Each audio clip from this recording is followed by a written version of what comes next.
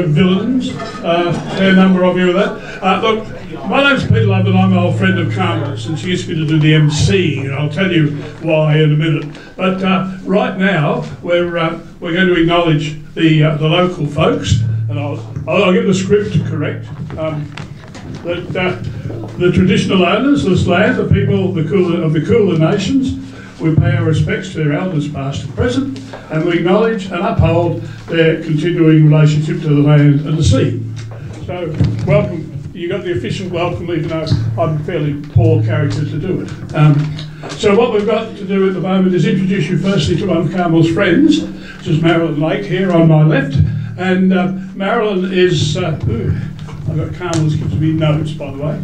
Uh, and uh, I try to do without notes. Normally, I have a lecture without notes, but uh, I've got to, got to go by the script according to Carmel. And, uh, Marilyn and Carmel met shortly after they uh, they both arrived in Melbourne in the early 1970s. Uh, Marilyn was from Tassie. It's lovely, lovely town you had to have stayed there for a holiday. Um, and um, Carmel from Queensland. They've been friends ever since, and uh, together with Judy Smart, who is also here.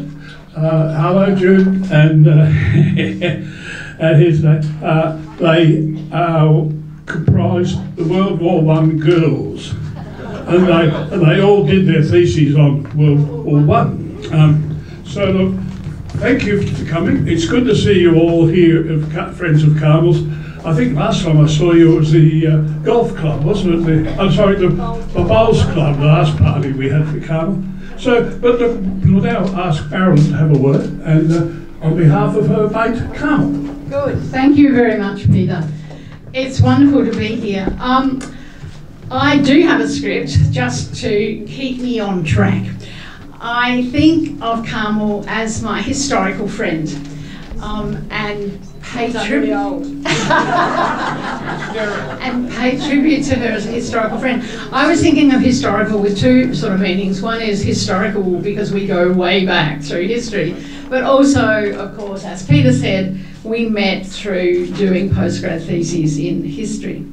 We've uh, known each other for a remarkable 46 years, I calculated. I think longer than most here.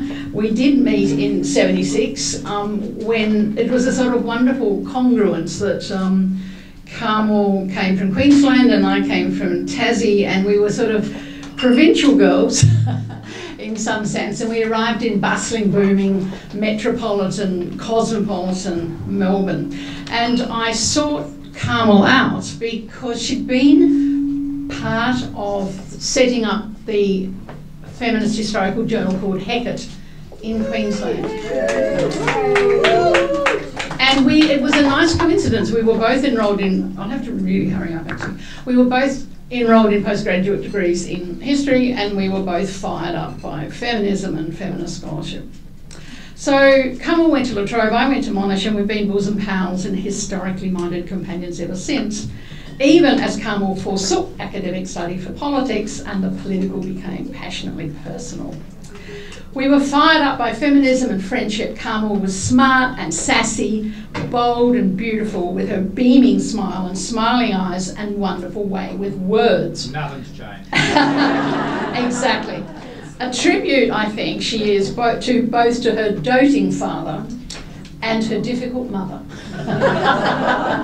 a bit more of that. and I thought, what a combination. She was sure to become Prime Minister. That was what I thought in 76. As a history student, Carmel had proven to be a child prodigy. Her honours thesis was published as a series of articles in the academic feminist journal Hecate. And she'd shown there, avant la lettre, as it were, how gender how gendered analysis of wartime mythologies would change our understanding of history forever. Joy Damousi, who's also here, and I republished one of her seminal, excuse that word,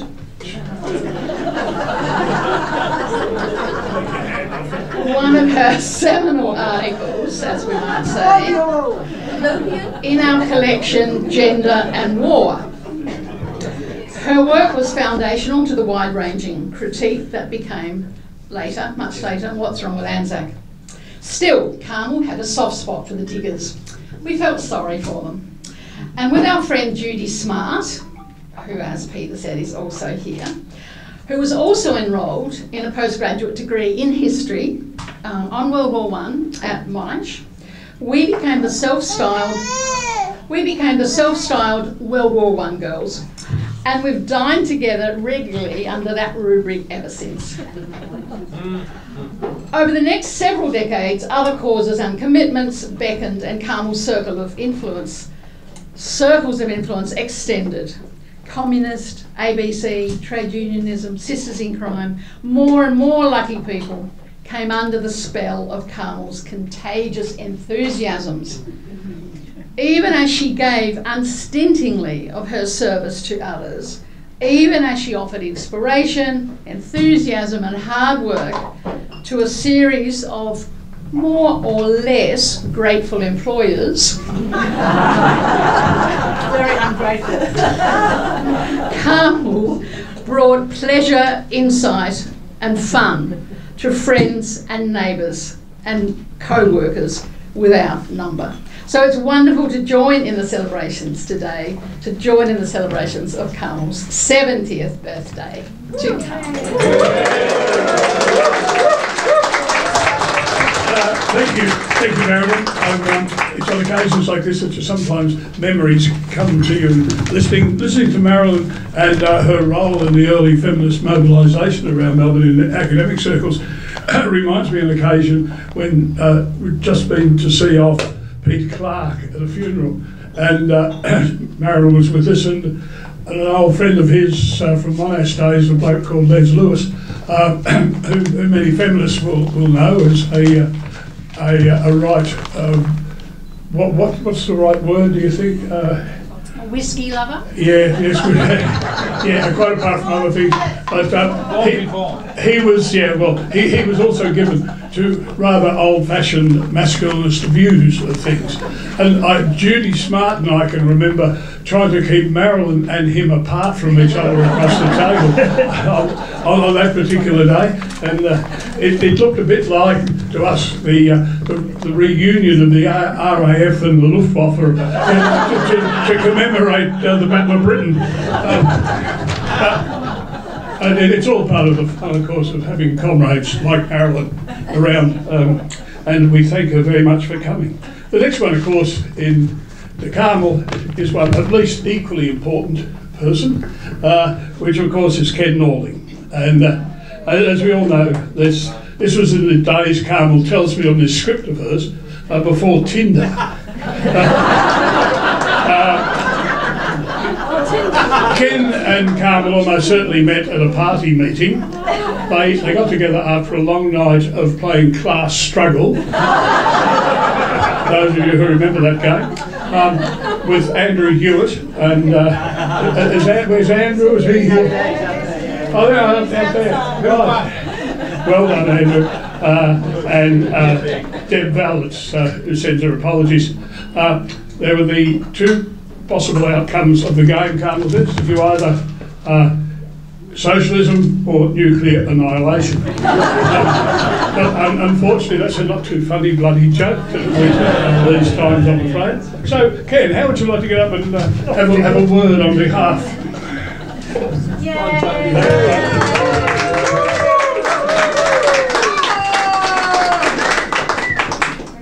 Those of you who know me will know this is a rare event to actually get me speaking in front of a crowd.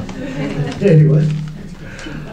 Um, look, 70th birthday always seems a moment for re reflection. 77 decades is a bloody long time. Further out, bit further out. Further out. Further out? Yeah, a bit, no, ice cream. There. Yeah, no, no, ice cream. Yep. There? Yeah, You're doing well. Very good. Now, I've known... I could just shout. I've known Carmel for the best part of five decades. Yeah, that's good. Yeah, yeah that was good. Working. good. And we've been, uh, let's go. we've been lovers for four of them. Those who knew us then probably didn't expect our relationship to last anywhere near this long. Certainly, ASIO didn't. One of their agents in the Communist Party in the 1980s noticed, noted my attendance at a meeting by describing me as Carmel Shute's current boyfriend.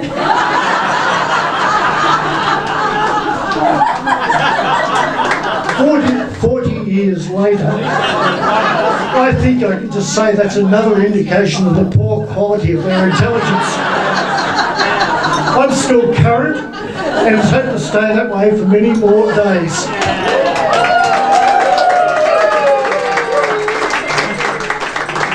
Now, those 40 years haven't been that, that good in some ways. The horrors of the undermining of our society by neoliberalism, the destruction of our planet by human greed, and now the return of the total horror of my childhood, nuclear annihilation.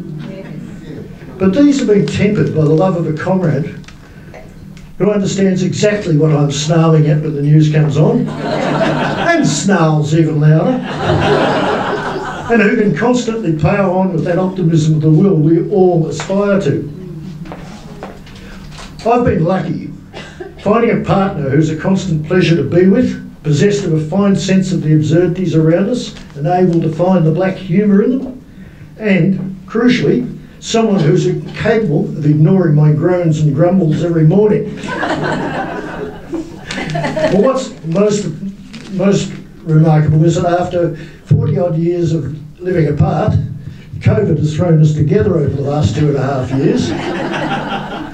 and much to my surprise, I presume to Carmel's even more, uh, there's hardly been a crossword between us. It all bodes well for the future, given that we're about to move into a shared residence for the very first time. anyway, I just want to say thank you, Carmen, to a wonderful friend, comrade, and lover. Thank you. Uh, thank you. Thank you very much, Jim. Uh, that- that's lovely. We'll, um, we'll be saying something about that, that uh, partnership a little later. I was just reminded, mentioning our, uh, our good friends at uh, ASIO, um, that a number of our friends actually who've had occasion to do memoirs have uh, acknowledged that uh, ASIO as, as one of their best research assistants. Um, not so much about reliability of the things they report, but the fact that people were somewhere at a certain time. Uh, and I remember one of the best ones that I've ever heard was from a good old friend of ours, uh, Amirah Inglis. Uh, Amirah and Ken are both gone now, but uh, they were great friends and comrades. And in one, in one of her books, uh, Amirah uh, noted that uh, a um, one uh, ASIO agent in his notes when he was spying on uh, her mother, he said that uh, yes, uh, and so and so said that he was writing an autobiography, but because of a passing tram, I could not ascertain as to who. one of the one of the better. Uh, so what what we get to now, of course, is is our old mate Lou. Where are you, Louise? There you are. Uh, well, Louise Connor, of course, many of you would know, and uh, she and Carmel have been friends since 1979 when they were both working for the party. Uh, Louise had just cycled from Adelaide. She packed a lifetime of physical exertion into that one act. Later on, Louise, Louise was working for the Australian uh, Journalists Association and Carmel for the ABC Staff Union. The two organisations were sometimes engaged in internecine warfare, so they had to haul talk to a pact and never mention the, uh, the work in their conversations. So, Lou, come and give, give them an earful, uh, of, of which she is, she's, she's very good at it. Thanks, Peter. So, blank document. That's what comes up when you open a new uh, Word file on your laptop, which I did to write this very brief speech for today. And I thought to myself, That's not what you get with Carmel. what you do get is a dear friend, a fierce advocate and a hard worker, a good laugh, a lot of love, wisdom, mentorship and advice, tireless dedication and a good feed. but most of all, you get all Carmel's friends. You are a testament to what makes Carmel Carmel. You're such a diverse bunch that sums up all that Carmel holds dear. So if we could stop dying, that would be great. and you're the reason that Carmel isn't a blank canvas. She's the product of a rich life, a feminist, communist, unionist, environmentalist, community builder, and advocate of socialism through socials. Carmel is a good time party girl. And often she's the instigator of that party, or at least the organiser of it. We've all had a good time once or twice or hundreds of times, thanks to Carmel. And what better place to be a good time party girl than here at Carmel and Ken's soon to be abode, the Europa. And thanks for Greg, to Greg Day for organising access today. So we're going to enjoy a few good barbecues here over the next years. Which is only fitting as Carmel spends a lot of time looking for venues. now she partially owns one. And can I say, Carmel and Ken, ooh, posh. Who would have thought? Carmel, I wish you many more birthdays and even more cheers for all you'll continue to do for me and the world. Now, I've actually got another speech here because when I, my partner Michael found out that Carmel asked me to make a speech, he said, oh, no, I, I want to write a speech. He couldn't be here today.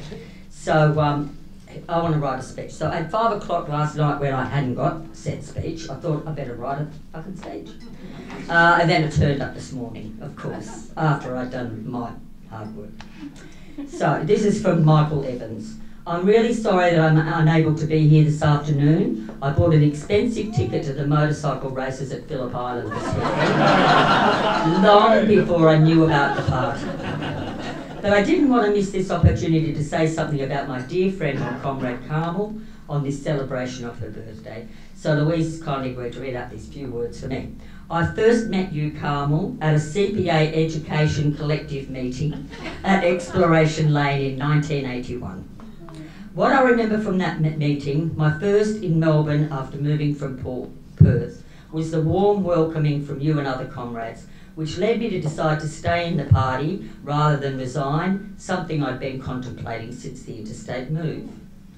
As a fellow Queensland political refugee of sorts, we immediately bonded, and for most of the 40 years since, you have been one of my closest and dearest of friends.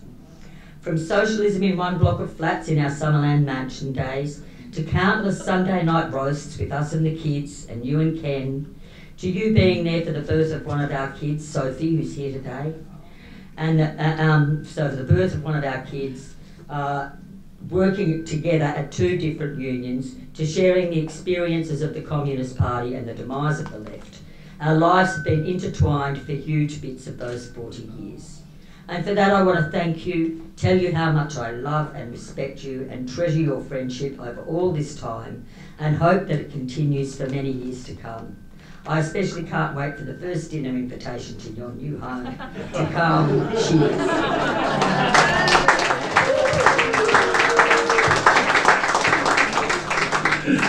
Thanks, Lou.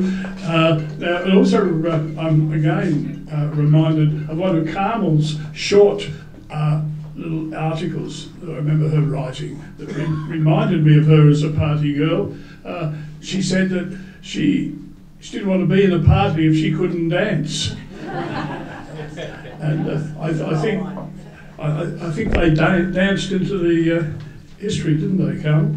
Anyway, uh, this time we're going to hear uh, from uh, Sue Turnbull, because Sue and Carmel have known each other since 1993, when she spoke at a Sisters in Crime event. Sue became a convener shortly thereafter, and completed and compared most events until she moved to the University of Wollongong in 2010. She's now Sisters in Crime's ambassador at large. Yeah, coincidentally, Sue was uh, president of the La Trobe Postgraduate Association, which Carmel and I helped to found back uh, back in 1977. I remember that well, Carmel. Um, so let's hear from Sue. Here you go. Thank you. I went a slightly different way with this invitation. I decided that what we needed was a poem. What we needed was an ode to Carmel. Shute, that is. So I went looking for odes, and of course, the first one I hit was Ode to a Nightingale. So, on the occasion of her anniversaire 70, which sounds so much better than 70, with apology to Keats, who didn't quite make it to past Van Sank, um, and the Nightingale, and to anyone who speaks French. Here we go. My heart beats, and a drowsy numbness pains my sense as I search for a rhyme for Carmel. it's not that easy. Much better would have been Carmel which in my stubbornness I tried to call her for so long. She gave me hell. Shute now, that has rhyming possibilities, not forgetting the assonance, as in, what a hoot we have had over the years to boot, comrade Shute. From that first time in the Grace Darling Hotel when I persuaded you to reconsider Miami Vice as an essay on masculinity in crisis. and you did. And then buggered up your leg helping me haul the video equipment back into my car. but on we went to Leo's Spaghetti Bar. Our Friday night route. R O U T E. To the back room, just past the men's toilets, under the mirror ball, our spiritual home, where we enjoyed so many nights with crime writers good and true, and the other ones who weren't. but sisters we were in a hood that was like no other bonded by a love of stationery and a good book. Not forgetting, this is very personal, our foray to Sorrento when you discovered the pulling power of a King Charles Spaniel puppy and his poop that rolled down the main street like errant tumbleweed in a western pursued by Comrade Shute. Too cute. I should explain at this point that Carmel had instituted DNA testing for dog poop St Kilda.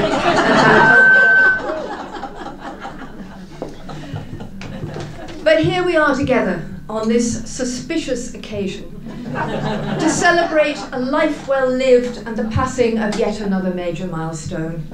You've had 45 more years than Keats, Comrade Shute. So what are you going to do with the rest of it? No doubt it will be Butte. We love you, we admire you, and we're damn sure this isn't toot for shoot.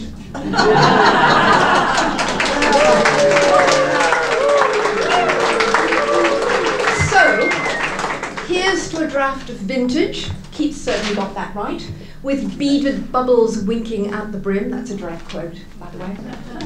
And far from fading away in a forest dim, since that was a poem about a different bird, let's raise our glasses to Carmel Shute, the beating heart of sisters in crime, and party on God's truth.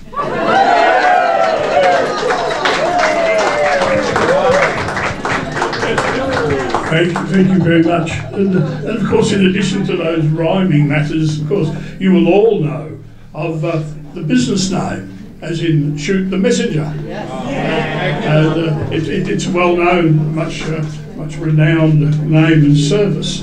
Uh, now, this is the this is a biggie. This is herself, Carmel. and uh, Carmel and I have, uh, have been friends and comrades uh, since 1977 when we were postgraduate students together at Trobe University. Uh, where, amongst other things, we worked together on numerous campaigns. Uh, Carmel, do you remember once in a hotel in, uh, in Carlton where we were uh, having British friends? Uh, Oh, yes, Stuart Hall. Stuart Hall and, And B. uh, Campbell. and B. Campbell, yes. And we were having a function for them in the hotel. And the hotel wanted to charge Carmel, the organiser, more uh, than it was understood the thing would go. So they wanted to charge us uh, a, uh, a ferocious price for the food and drink. Uh, and one fellow got really, really rather rough, so of course, naturally, uh, I had to confront him and you know, threaten to snobber him. And uh, but anyway, he, he then decided that when I, when I walked out, I would have a mark on your back. Uh, and so I walked around with a uh, some uh, some mad Italian's sign on the back of my back because we dared to uh, upset the bloke and his and his booze. And uh, anyway, we've worked together apart apart from difficult things. Um, we've worked together along with Ken. Ken Carmel and I were a, a team who'd worked on numerous fundraising events, mostly quiz nights, and uh, we've we've calculated that we've uh, that we've raised in the vicinity of hundred thousand dollars for good causes. Uh, and uh, I, I remember I had, I had great fun with, uh, and, and one of them was when I was doing an, an auctioneering job of goods for the uh, maritime dispute uh, cause, uh, cause, you know, the EWA funds. So we did rather well on that night, and I remember Andrew Reeves, who was known for finding uh, Union and other records easily, which he, he gave in his own collection, gave them tender care. But I, I remember knocking down a, uh, uh, a drawing to him for a thousand dollars. That was a that was a lovely little tasty event for us, and the MUA were very very pleased with us, and so was the campaign. So. Carmel and Ken have, have been really very efficient and effective fundraisers for good causes, and that's just one example of it. So I give you now our very own, never to be repeated, Carmel Shute.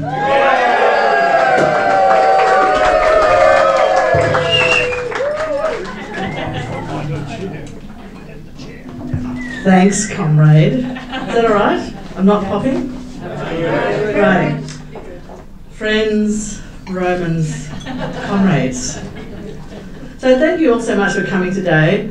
I wasn't intending to have a 70th birthday bash, but at farewell, you know, commemorative drinks for Janet Thompson, Barbara Weimer, who's been the main organising force behind today, and Deb Vallon said, Oh, you've got to have a party, Carmel, because otherwise we'll only see each other at funerals. How right she is on that, particularly after two and a half years of lockdown.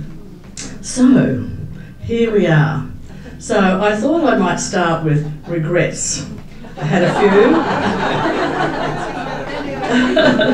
Taking up smoking, not getting enough exercise, working for really ungrateful employers who didn't appreciate all my hard work, and having to kiss a lot of frogs before I got But I decided on the seven up approach as pioneered by Michael Apted and on the TV series. So at seven, my nascent Republican sympathies were already stirring. In August 1959, the kids at Brooloo State School, where my father was a school teacher, got the day off to go into Gympie to greet Princess Alexandra. And the whole railway station was tarted up, palms and pot plants everywhere, a big red carpet running down into the underpass. And I asked, why can't it always be like this? now, at seven, I had two front teeth missing, which is not a good look for making one's First Holy Communion at St Pat's in Gympie. And that was on the last day of our annual summer school. So all the country kids who had the misfortune to go to state schools and um, couldn't go to the convent or the brothers got sent in to Gympie for 10 days intensive religious instruction. Now, we had to rehearse for the big occasion. So we we're all lined up on the altar of St. Pat's uh, with our tongues out. and we had to kneel there and as Sister Mary Brenda came by with a ruler and tapped us, we had to sort of bow our heads in, in reverence. But when she got to me, she got her ruler out and banged on my knuckles and said, You bold girl. Now, I was mystified. After all, we're all told to put our tongues out. And but maybe she sensed something in my nascent character. Title of your memoir. I was certainly getting bolder by the time I was 14. So at Imbil Secondary Department, which had been opened by Joh Bjelke-Petersen in 1964, um, I organised self-defence classes for the girls as a group activity on Wednesday afternoons. But that got cancelled because the, pres- uh, the, the principal, Mr. Burgett, was horrified, appalled, scandalised. And then I refused to hand, stand up for God Save the Queen at the Imbil Secretary, uh, Imbil um, Cinema. So I don't know what possessed me because it wasn't if I was under the influence of radical ideas. We'd only just got electricity on and bought a TV, nothing happening there. And the Gympie Times and the Courier Mail weren't radical media outlets. and in fact, the thing I read most was the Women's Weekly, the Women's Day, and the New Idea, um, which of course was slavish, you know, to the royal cause. And in fact, when it came to watching The Crown, I was amazed at how much I knew. and, but in the wake of the Queen's death just recently, I discovered that people my age all over Australia were doing exactly the same thing. One was um, Judy Basson, whose daughter's here today, and they were just refusing to stand up for the anthem. It was a, the first sort of um, indication of the youth rebellion, which was to sweep Australia, revolutionise it in the 60s and 70s. Now, the year I turned 21 was my annus horribilis, as the Queen might say. Um, I was living very unhappily with a member of the royal family of Australian communism and his two children. Um, that was a term used by the, by the bulletin, by the way. And on the day, the only thing I got in the mail was a letter from my mother which said she wished I'd never been born, she wished I'd been aborted, she wished um, she'd push me down the stairs at Brooloo like Peggy Smith had done to her children, and what a pity it was Hitler hadn't killed all the Jews. I've got it in writing. I've never got rid of that letter. Um, and that year I had to write 90,000 words for my honours year. I got an ulcer, I put on weight, risen and was submerged in the great flood. But one silver lining was that I joined the party, and can I just stress that, contrary to what many people have assumed, I was not a pillow recruit. Never crossed our mind. 28, and I was living in a share house in Clifton Hill and working part time for the party as an organiser and part time for La Trobe University, teaching feminism with um, the late Jenna Thompson. It was a big year. I was one of 14 young Australian communists selected to go to uh, on a study tour to Europe with the communist parties of Yugoslavia, Italy, and Spain. And I often refer to this exercise as the ill-fated Marxist Day tour, but it did have its uh, funny moments. So in Zagreb, uh, after a big night official dinner, we got taken to a nightclub and heavy metal was all the rage in Yugoslavia. In fact, the only graffiti I ever saw in Yugoslavia was ACDC. and we went to this nightclub and I got on the dance floor with Chris Warren from Canberra. He cut a striking figure. He had long hair and a ponytail and a great co- World War One greatcoat. Right? And, and then we had this uh, Fred Astaire, Ginger Rogers moment. The dance floor parted. and everyone stood and looked at us dancing. And then by the end of the night, they were all dancing Australian style. So I came back to Australia to two big conferences. The second Women Labour conference, which some of you would have been at. Yes, attended by 3,000 people, still the biggest women's conference ever held in Australia. And the Communist and Labour Movement conference to mark the party's 50th anniversary. And it still stands as the best conference I've ever been to. Because I got to shake the hand of Tom Paine, who'd shaken the hand of Lenin, amongst other things. By my 35th year, I was working as an organiser at the ABC Staff Union, and some of my comrades from that period are here today. I adored it, and I was also involved with Ken Norling, who I also adored, still do. And he was the father to three lovely girls, Emma, Catherine, and Jessie, which was an added bonus. Emma lives in England, but Catherine, and has Jessie arrived yet? She's here, hooray! She's, she's been on night shift. Um, they're here today. And by then I'd also moved to St Kilda, and which I adored. And much to my surprise, in 1987, I became a home owner. When Head O'Connor, Melanie Eagle, who's here today, where are you, Melanie? uh, and I bought an apartment at Summerland Mansions in Fitzroy Street, which is where I got to know various people who are here today, like Malta and Suzanne.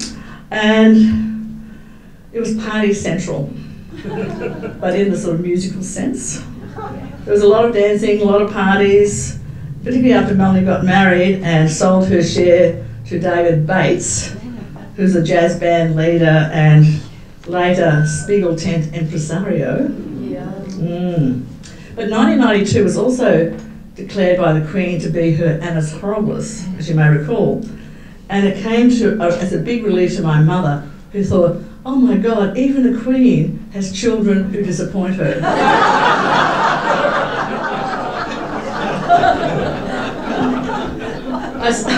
I celebrated my 40th birthday with a big party at Summerland Mansions, and my BFF Louise, who you heard from before, was due to give birth that day, and I was her designated birth assistant.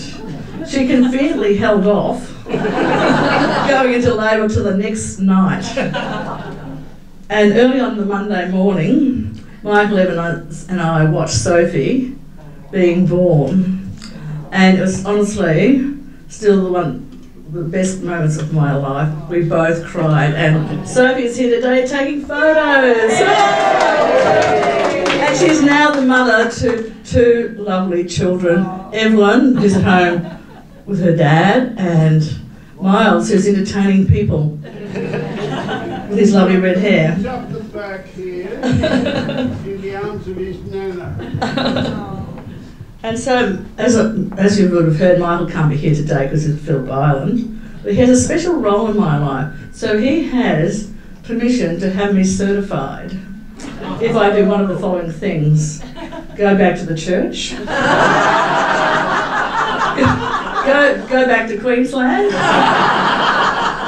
join the Labor Party, decide to get married, and I should, I think I'll add a fifth one walk the Camino.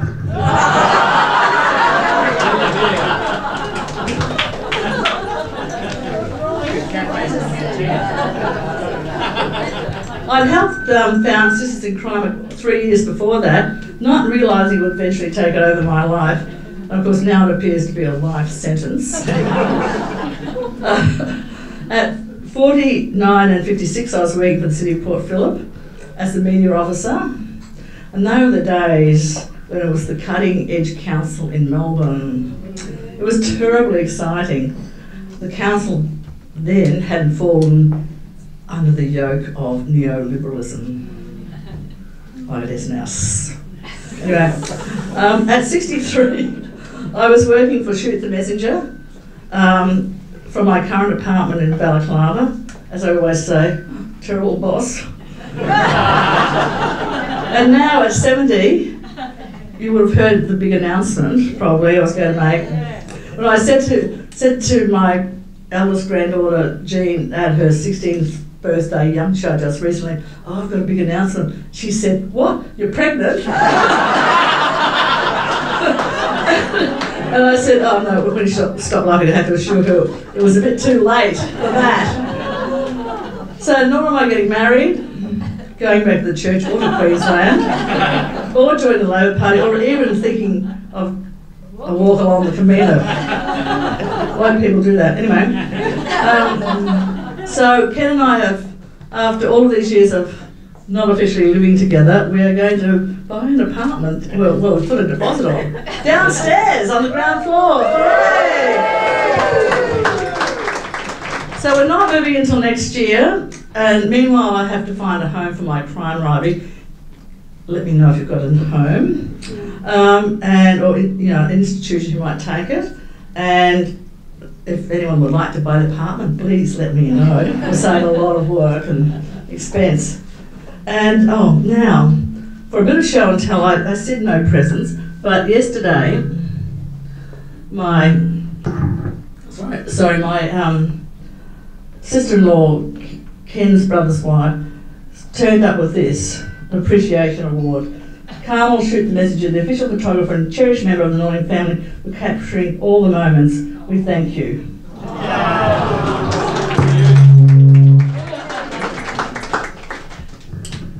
Um, now, before I close, just a few big thank yous. Barbara Weiner, where are you, darling? Was, hooray, fantastic woman. Ian Campbell, who I've known since 1972.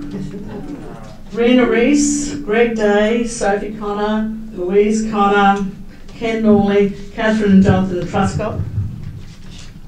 Oh, just got to make sure I don't leave anyone out. Peter Love, Gregory Vaisman, who's here videoing for, well, it's not, I don't think he's going on Sputnik, but he's from Sputnik Russian television program. Robin Bold, and everyone who bought food, fantastic food, and all the speakers, especially Sue, who came all the way from Wollongong. Hooray! And big thanks to people who donated money to the Asylum Seekers Resource Centre. I am so privileged to have so many great friends and comrades. And I will close with a quote from Albert Einstein Do not grow old, no matter how long you live. Never cease to stand like curious children before the great mystery into which we were born. So please stay on. Lots of food, lots of um, alcohol. And as a recent meme I saw said, friends are therapists you can drink with. Thank you.